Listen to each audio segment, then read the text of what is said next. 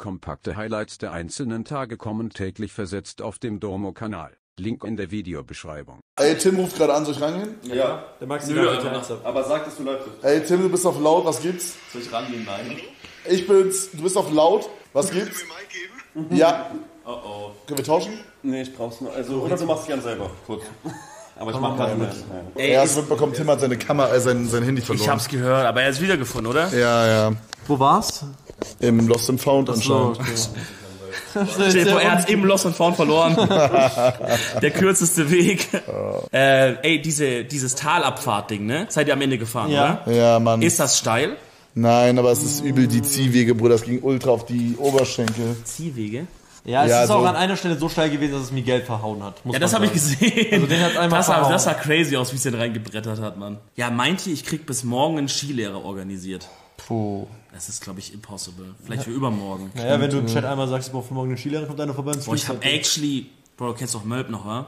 Leider. Ich, ich glaube, der, Bruder, er ist immer noch Mod bei mir. Ja, natürlich kenne ich ihn. Ich hab bei dir weiß ich nicht, Bro. Naja, halt mal die Fresse kurz.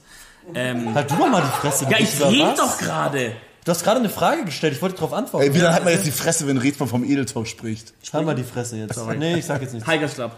dich. Heigerschlapp, Fick sorry. dich, Dominik, Alter, fick dich. Wirklich. Tag 3, das Drama geht los. Es geht Ich los. mach gleich Catchplätze und geht's nach Hause. Ey, natürlich. Ah, nein, nein. Käsespätzle und Zwiebel. Oh, sorry, ich wusste das nicht. Ich dachte, du willst mich unterbrechen, eine andere Story anfangen. halt mal die Fresse. Ähm, Mölbs, Mölbs Bruder ist Skilehrer, meinte Ey, er. wieder, du musst ab jetzt nur noch flüstern. Bitte, Ja. sonst kann ich hier nicht streamen. Eier. Bruder ist Skilehrer, meinte er, und vielleicht könnte ich den anhauen für morgen. Oh. Aber ich weiß ja nicht, ob der, ob der gut ist, Digga. Wenn das so, wenn das so Familie ist, dann kannst du ja dann auch nicht sagen, ey Bro, ich würde jetzt ungern nicht mehr nochmal äh, mit dir übermorgen fahren oder so. Ey, Mike, wie lange brauchst du eigentlich mit meinem Handy noch? Äh, jetzt bin ich fertig. Okay. Ich hätte, du warst schon die ganze Zeit fertig und hast mit meinen Sidechecks geschrieben. Ja. Ist okay, nicht schlimm, aber sag Marsha nicht. Ich hab mit Tim Marsha ruft an, wir machen einen... Ich werde Marshall geschrieben. Frauenzieher eine seltene Spezies. Den Textmarker. Man sieht ihn nicht oft hier in der Schweiz. Aber wir haben es hinbekommen, eine seltene Aufnahme beim Snowboarden hinzubekommen. Ja, waren alle, alle Wielandwälte, Leute. Was habt ihr aus unserem kommunistischen Wieland gemacht? Auch ein Kommunist kann schöne Skiklamotten haben. Sag ich Klar, man kann auch, man kann auch gut angezogen Mülltonnen anzünden, sag ich mal. Ich meine, es ist kein Kapitalismus, solange Wieland nicht zahlt eigentlich. Jetzt halt, also du musst einfach klauen oder so halt. So nicht kalt, aber ne. Danke, Bro. Gab's keins mehr im Kühlschrank? Ach, doch in einem anderen Kühlschrank, ne? In dem Red Bull Kühlschrank. ich Digga, wir haben einen riesigen Red Bull Kühlschrank. schon gar nicht reingeguckt. Digga. Nein, das ist schon offen, alles gut, ich trink das. Bro, wir haben einen riesigen Red Bull Kühlschrank bekommen. Der ist wirklich riesig und da steht Red Bull drauf. Und Digga hat ihn nochmal angeguckt. Und ich weiß nicht, wie du dich fühlst, aber ich würde gern richtig gern aus den Klamotten raus hier. Aber ich muss ja noch anhalten für, anbehalten für Strodeln gleich, ne? Ist da so Du kannst auch mit normaler Hose rodeln, aber es fickt Leben, glaub mir. Ja, ich weiß. Ich Ist da so schwitzige Atmosphäre drunter? da ist schwitzige Atmosphäre drunter, ja. Boah, ich habe eine Story vorhin gehört von jemandem, der Nachtrodeln war. Ich weiß nicht, ob ich die euch jetzt erzählen soll. Ja, Ich mach. Okay, also es war jemand im Chat und die hat erzählt eine Story von ihrem Bruder, als er Nachtrodeln war. Und der ist halt so gefahren und beim Rodeln bremst du ja immer mit, mit den Füßen, ne? Ja. So. Und dann ist er so gerodelt und dann war da so irgendwie so ein kleiner Hügel, so ein Maulwurfshügel oder kein irgendwas war da auf der Piste so ein Hügel und der war gefroren.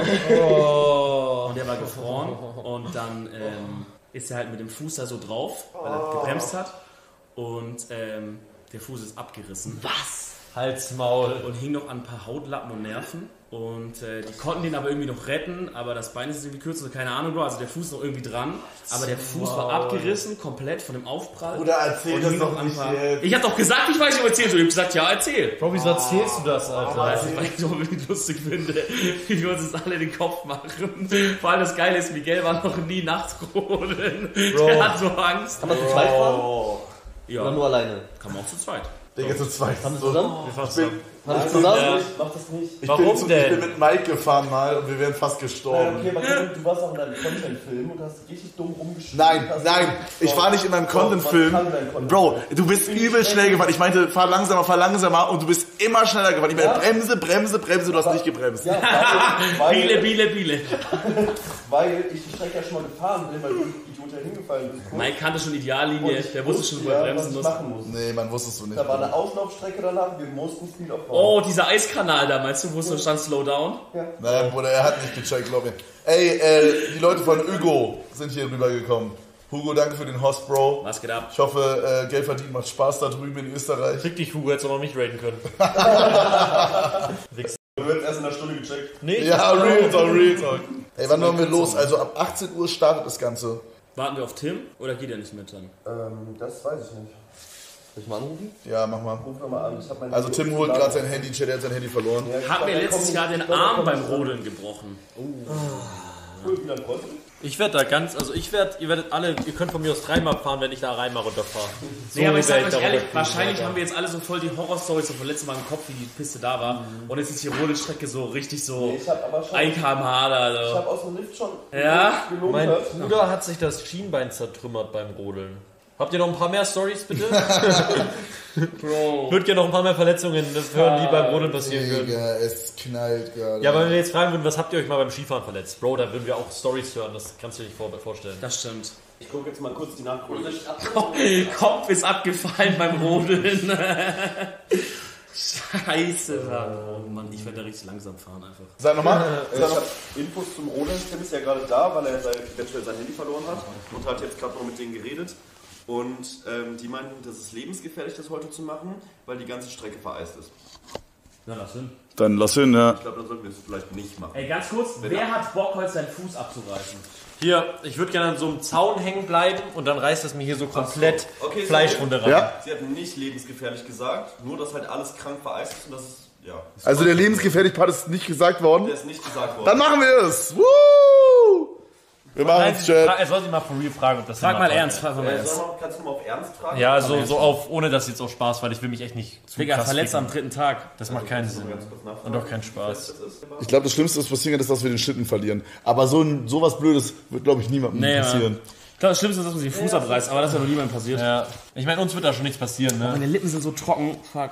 Meine auch, ich beiß die die ganze Zeit ab. Ja, ja, wegen der Luft hier, ne, ist das. Und ich hab, meine ganze. Nase ist voll mit Popel, falls es jemand interessiert hat. Ich würde es gerne raussaugen. Klar, Randa. Boah, meinst du, das gibt's? So Kink, dass Leute so. Weil du kannst es so mit dem Mund hier so andocken, weißt du so? Also so andocken und einfach saugen, Bro. Ja, das mache ich manchmal bei Marsha. Nein. Doch. Echt? Und dann kommt Popel? Nee, aber dann tue ich so, als würde ich Elfbar rauchen. ist ein Klassiker. Zieht halt echt den Helm auch an. Ich hätte sowieso den Helm angezogen. Also ich wäre da nicht ohne Helm. Bro, ohne Helm grodeln ist krank. Dann seid ihr verrückt. Ich weiß nicht, sind wir mit Helm gerodelt letztes Mal, Mike? Ja, ja. Warst du da dabei? Aber ich Ich hab's nicht so gesehen. Bro, ich glaube, bei 100 Prozent. ich glaube einfach. ich Chat, weißt nicht wisst mehr. ihr es zufällig? Was? Das wurde doch mit Helm gestreamt, Alter. Ich hab richtig Schiss jetzt vor allem. Ich bin so ein Hypochonder geworden. Wegen was? Wenn das auf dem Kopf fällt. Achso, du streamst jetzt auch einfach normal zu Hause. Ja, ja, genau. Auch- dem auch- Visier, auch alles- ja, ja. Rosins äh, Restaurant, schön mit Helm, Digga. Krass. Vielen Dank. Hey, Jesse, Also ich habe hier Infos. Ladner, vielen Dank. Hab auf Instagram geschrieben. Tilo Sauer meint, hat die geschrieben. Also es ist vereist. Sie haben die offizielle Ansage bekommen, dass sie jedem sagen sollen, dass sie, wenn sie hochfahren, dass es gefährlich ist. Und letzte Woche gab es wohl einen Unfall, als es dann genauso ähnlich vereist war, I guess. Und ähm, sie hat aber jetzt nicht so reagiert, als wären wir wahnsinnig, wenn wir da hochfahren. Ja, dann machen wir es, Leute. Ich finde das schon sehr, sehr bedenklich. Also Das ist so ein schlechtes Vorzeichen, Mann. Was für Also das Fick. Ding ist, ich glaube, es macht auch nicht so giga Spaß, wenn es so krank vereist ist. Letztes Mal hatten wir wenigstens so Schnee und sind so reingefallen, war so süß, weißt du? Aber kann man nicht langsam anfangen? Bruder, Real Talk, lass einfach, selbst wenn wir hinfahren und es ist jetzt mega vereist, ja, dann fahren wir halt langsam und gehen nach Hause wieder. Klar, was soll schon schief gehen? Real Du Talk. meinst du langsam, wenn das Naja, du machst halt einen Tester. Na, wie, wenn es Eis ist? Naja, Bruder, also, du, du kannst ja trotzdem bremsen. Wenn es Eis ist. Wenn es Ja. Ist, das genau wie da, wo da stand Slow Ja, Down. Bruder, es wird keine, es wird keine 450 Meter Curling-Strecke sein, die da ist. Ja, keine Ahnung, Mann. Es wird halt ein bisschen Eis unter dem Schnee sein. Ich weiß es nicht. Das Problem ist, heute Wir war halt können es richtig wir warm. tryen, aber ich will, es nicht, ich will nicht irgendwas dumm riskieren. Ja, ja, wir sollten, wir sollten es eher als Warnung nehmen, dass wir jetzt nicht übertrieben eskalieren, direkt erste Fahrt, sondern wir sollten einfach fahren und gucken, wie es so ist, you know? Und wir können, also, Bro, auch wenn es da vereist ist, kommen wir da mit 1 km/h runter. Boah, ich glaube nicht, dass das so ist. Wie? Dass Doch. wenn das vereist ist und du setzt dich drauf und du baust Geschwindigkeit auf, dann musst du, dann rutscht, dann, dann, dann rollst du, also dann dann kannst du auch springst nicht du vom, halten. und dann äh, was? Und dann dann rutschst springst du halt vom auf deinem Schlitten Arsch runter. Wenn es richtig vereist ist, rutscht er mit deinem Arsch weiter. Dann rutscht, dann, dann springst Bruder, das ist nicht 54 nicht Grad Winkel. Wie, Natürlich, Bro, 54 selbst wenn, wenn du runterfällst, dann hältst du automatisch an. Willst du mir sagen, der Kollege hier, hinter mir, der rollt dann einfach den Berg weiter runter oder was? Der nicht rollt, rutscht. Auch nicht, nein. Und du auch nicht, Digga, du wiegst 20 Kilogramm. Bro, das ist auch bei, du kennst auch beim Snowboardfahren, wenn eine, eine, Skifahrt, eine dicke Abfahrt und dann legt sie auf den Arsch und dann rutscht du auf dem Arsch da runter. Bruder, ja, bei einer Skistrecke, Digga, aber die Rodelpiste ist doch nicht 45 Grad Winkel, Bro, ich hab Digga. das noch nie gemacht und die erzählt mir die ganze Zeit, dass es lebensgefährlich ist, Alter. Bruder, wir fahren doch nicht die Stre gleiche Strecke jetzt runter, die wir snowboarden, Digga. Bist du geistes? so hab ich mir vorgestellt. Er meinte, Was? ich habe schon gedacht, das geht dann so. Nein, Bro, es ist fast flach. Sag du, wie ist? Das ist unterschiedlich. Ganz kurz, ich habe Tim gesagt, boah, die streiten sich jetzt gerade darüber, ob sie fahren oder nicht. Und Tim meinte, warum ist doch Content? Ich, Real Talk, wir Das sollten, ist Content. Real Talk, ich sag euch, wenn ihr es wirklich vorsichtig macht, wir sollten es nur als Warnung nehmen, nicht direkt crazy zu ballern, so wie Mike letztes Jahr geballert ist, sondern wir sollten ein bisschen gechillter fahren. Warum kriege ich jetzt hier den, das Fett Okay, dann machen wir es vorsichtig. Mein Dann machen wir Großer. es Das ist ganz schön, das ist weiche Hand, ne? Du auch? Oh, krass. Lilane. Zeig. Lila, ne? Das Lilane ist die Piste. Hier? Ja. Okay. Oh, das sieht aus nach Tod und Verderben. Voll lang. Chat, da ist die Piste, das hier alles. Boah, die ist schon lang, ne? Das ist richtig anstrengend, das zu halten. Geht das mit unserem normalen Ding-Ding oder müssen wir Nee, zahlen? müssen kaufen. Denkt doch nicht an Content. Bro, es ist. Ich weiß nicht, was ihr gerade da in eurem Kopf habt, Alter. Aber es ist jetzt keine. Wir reden nicht von einer Curling-Strecke, Digga. Der Es Typ ist jetzt nicht nur erzählt, Eis, Dass da ein Bro. Maulwurfshügel war und ein Typ sein scheiß Bein verloren hat. Okay. Ja, Bruder, aber wir fahren vorsichtig, Digga. Der ist vielleicht nicht vorsichtig gefahren, Lilane. Das ist zwischen den Liftmasten. Alter, what the so einen Platz dagegen oder was? Bro, also Real, äh, Real Talk. Bro, du Wieland- kannst mich dann von Wieland so denkt Liftmast gerade- was kratzen, Alter. Ey, wirklich, das ist krank. Wieland denkt gerade, wir fahren mit dem Schlitten dieselbe Strecke, mit der wir, wo wir mit Snowboard runtergefahren sind. Digga, da kann auch kein Eis sein und wir würden draufgehen. Ja, Bro, aber wie wirst du bremsen, vereist ist? Ich sag dir jetzt die Physik dahinter, wieso das heute richtig scheiße ist, okay? So, wir hatten ein bisschen Neuschnee gestern Nacht, dann war heute richtig, richtig warm. Das ist alles geschmolzen ein bisschen. Und jetzt ist, jetzt ist wieder Nacht und es ist kalt und das geschmolzen ist richtig gefroren jetzt. Deswegen ist alles vereist. Hast du mir gerade erklärt, wie Eis funktioniert, So Bro? hat's funktioniert, Bro. Digga, ist das krank. Der hat doch Raketenwissenschaft studiert.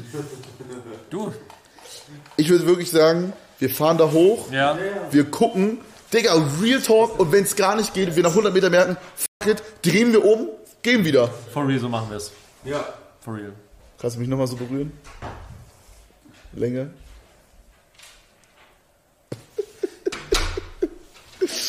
Wow. Ähm, Digga, Wieland, hol dich rum. Fick dich, Shishak, Alter. Oder? Nein, Bro. Dann bin ich nicht die Person, die rumholt. Ist, ist Okay, schon, weißt du was? Wir fahren das Ding jetzt. Ja, wir fahren das. Und dann stirbt eure einzige Einnahmequelle. Und was dann? nein, nein, bei New Base gibt es mehrere Einnahmequellen. Die haben jetzt auch Tomato-Leaks. Okay. Ähm, Meine Stelle wird dann vielleicht gekürzt, aber sonst. ja, naja. Ja, ihr müsst halt einen Mitarbeiter Ey, abbauen. nee, nee, es, es, ist schon, es ist schon vernünftig, mal kurz drüber nachzudenken, ob es smart ist oder nicht. Aber ich bin der Meinung, dass wir es probieren können. Wir werden jetzt da nicht draufgehen, Leute. Klopfen auf Holz. Hab ich keins. Auf Knie geht auch. Auf Knie ist auch noch, ne? Da fahren doch sogar Kinder runter.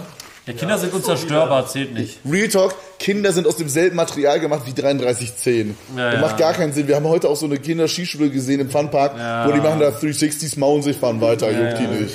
Übertreibt halt wirklich. Ja, okay, wir werden sehen, wer von uns heute Abend noch lebend nach Hause kommt. Also Freunde, meine Energie kommt langsam wieder. Ich würde sagen, wir gehen, oder? Ja, bei der Welt tut mal keine Getränke darum. Wie dann ist das äquivalent? Okay, nee, Stimmt, ich zieh meinen Rückenprotektor an. Damit bin ich unzerstörbar. Das ist quasi mein Ironman-Suit, Alter. Also Real Talk, du solltest die, wir sollten, also wir sollten alle mit Helm rodeln, oder? Ja. Klar, ich bin mit Helm. Ja? Ja. Okay. Du machst auch zum ersten Mal Miguel, ne? Ich habe das Gefühl, du wirst fahren wie ein Geisteskranker. du siehst aus wie einer, der so anderen Leuten hinten reinfährt mit dem Schlitten. Bro, no, ich finde, Miguel sieht aus, als wäre es seine Butze hier. mit Kronleuchter. Guck mal, mit dem Glas. Tausch dieses Glas mit einem Whisky aus und es wäre deine Butze hier, Bro. Real Talk. Whisky-Keller. Let's go. Bro, Real Talk. Ah. Also Real Talk, wir fahren, wir fahren da hoch. Wir fahren aber machen's. verantwortungsbewusst Verantwortungsbewusst. und machen keine Scheiße. Keine Ich Scheiße. habe was richtig Cooles dabei. Oder wir haben was richtig Cooles dabei. Was denn? Kopflampen. Kopflampen. Da ist aber alles beleuchtet, Bro. Aber beim letzten Mal war auch nicht alles beleuchtet. Ja, Bruder, aber also es ist jetzt nicht, Ich dass will wir. eine, okay? Wenn er nicht will, ich nehme eine. Komm. Ich kann nur auch eine nehmen für Chats. Nö. Für Content ist Content, wenn du Kopflampe Nö, hast. ich will keine. Ich nehme keine Kopflampe. Doch, doch, ist aber Content. Chat sagt die meistens Content. Es wäre übel Content, wenn du mir 100.000 Euro überweist. das wäre mega der Content. Hallo Luigi. Ich weiß nicht, wer Luigi ist. Achso, er hier wahrscheinlich. Krank. Ist das krank. Das sieht so real aus. Junge, Mike, Mike ist verrückt geworden, Alter. Sind letztes Jahr auch in Österreich bei vereisten Strecken rodeln gewesen, sind einfach langsam gefahren und wenn es gar nicht ging, abgestiegen und gerutscht. Ja, das machen wir auch. Hast du Luigi-Sticker? Ja. Danke. Bitte. Aber ihr müsst einmal runterfahren, während ihr einander den Cock reibt. Okay. Das ist dann das, der Part von dem Mann da links. Mike, Mama ist schwul. Mike ist schwul. Hey. Das ist krass. Ja, und sonst? Und sonst so, Leute? Was ist sonst so? Alter, mich f***t's ja gerade komplett auseinander wieder. Bro, warum bist du so am Arsch? Ich verstehe Ich das glaube, gar weil nicht. ich im Gegensatz zu dir auch was gemacht habe beim Snowboarden, you know? Ich habe halt die mal Chancen die- mit mehr als 1 km/h genommen ja, heute. klar. Ey, äh, Skibrillen ist übrigens sehr wichtig, ne? Echt? Ja, warum? damit du was siehst. Ich werde jetzt Du hast, kriegst du Schnee die ganze Zeit in die Ich weiß Fresse. gar nichts, wenn das so dunkel ist. Bruder, du kriegst die ganze Zeit Schnee in die Fresse. Trust me, ist ultra wichtig. Es ist Ich mega weiß, hell. nicht, ich weiß nicht, ob du gerade Ironie machst oder Ich nicht. mach, nee, ich mein's ernst. Du meinst ernst ohne Skibrille? Ja. Was du meinst du wirklich ohne Ironie jetzt? Ich, ohne, ohne, ja. Okay.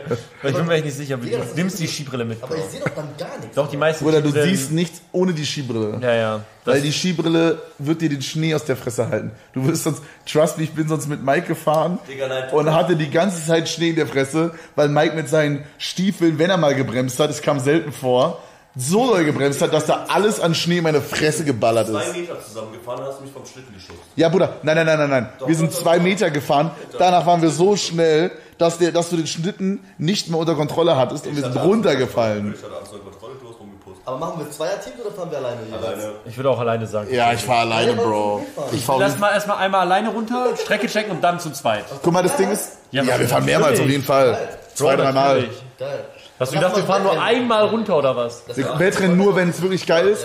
Es gibt manchmal am Ende von der Rodelstrecke so eine lange Ziehstrecke, also wo es lange gerade ist. Da ist dann auch jetzt nicht so schlimm, wenn wir da jetzt äh, voll Karocho nicht bremsen können. Ja, und meistens kommt danach aber so ein Abhang und das, dann musst du lenken. Und wenn du es nicht hinkriegst, dann fährst du den Abhang runter. Was? Ja. Das war noch nie so, Das Bro. ist immer so gebaut. Nein! Du hast immer so mit Fallen gebaut. Digga, ey. Lil Bro tut so, als wäre es so ein Dungeon, den wir jetzt gleich mit Schlitten runterfahren. Ey, Wieland, du übernimmst mal ganz kurz. Ich hoffe, Ja. du kriegst es hin, mir jetzt einen Satz zu sagen pro Minute. Und ich würde währenddessen kurz auf Toilette gehen. Ich strike euch jetzt, ich strike euch jetzt wirklich so lange an, bis Kevin wieder da ist, okay? Bro, selbst Daniel, unser Kameramann, der noch nie in seinem Leben gestreamt hat, hat, glaube ich, mehr geredet, als er auf dem Lift war als du. Stimmt doch gar nicht. Ey, Rätsmann! Dominik, du Digga, wo ist denn Rätsmann? Hey, Dominik! Rätsmann! Dominik! Dominik! Ganz kurz, wo ist Dominik und wer ist dieser Ropeman? Alter! Holy sh Junge, du siehst aus wie, ein- wie ein Scaff, Alter. Digga, die Jacke ist ja so sexy. Nacktrodeln, ja, wir machen Nacktrodeln.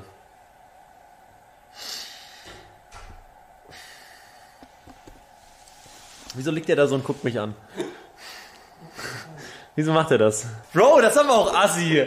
Guck mal, ich bin nicht, ich bin nicht confident genug, dass jemand neben mir sitzen kann und mich ständig auslacht, während ich arbeite, okay? Ich bin ja hart am Malochen. Ihr schreibt einer normalerweise, skippe ich den Part. Wieland, großes Feedback von der Toilette. ja, Äh, bisschen mehr sagen, bitte. Die Leute schalten schon ab. Bro, bitte schaltet mal einfach alle ab. Ich würde es ihm einfach gönnen, wenn er gleich keine Zuschauer mehr hat.